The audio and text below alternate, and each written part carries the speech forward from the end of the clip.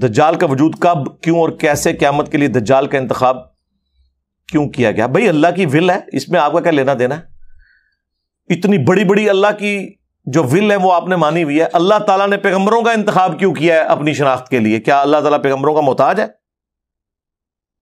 सूर्य अशौरा के स्टार्ट में आया कि नबी, हम चाहें तो आसमान से एक ऐसी निशानी अभी नाजिल कर दें कि ये सब के सब लोग ईमान ले आए।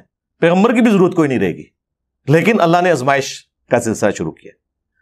तो जब अल्लाह ने अपनी शनाख्त पैगंबरों के ज़रिए करवाई है और अल्लाह किसी का मोहताज नहीं दजाल दशाही कोई नहीं शैतान दशाही कोई नहीं अल्लाह अपनी शनाख्त पैगंबरों के ज़रिए करवा रहा है जो किसी का मोहताज नहीं है। विल ऑफ़ गॉड है माँ बाप को पैदाइश का ज़रिया बनाया क्या अल्लाह ताला मोहताज है कि माँ बाप के ज़रिए ही इंसानियत का सिलसिला चले? बने बनाए जनाब पैकेज टीन एजर्स बच्चे और बच्चियाँ आसमान से नाजिल नहीं हो सकते थे? हो सकते थे। तो ये विल ऑफ़ गॉड है। हमें तो सिर्फ़ इस वक्त ये गर्ज है कि उससे बचने का तरीका क्या है? सूरतुल कहफ की पहली दस आयात और एक रवायत में आखिरी दस आयात। सही मुस्लिम में आता है बचने के लिए। और सबसे बड़े दज्जाल तो आपके मेम्बरों पर बैठे हुए हैं, जो कह रहे हैं, कुरान सुनना डायरेक्ट ना पढ़ना, गुमराह हो जाओगे।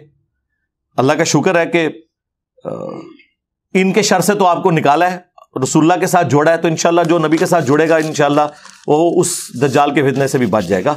इनसे जो आपके सामने दज्जाल आए हुए हैं ना, वो तो आना है कि नहीं आना?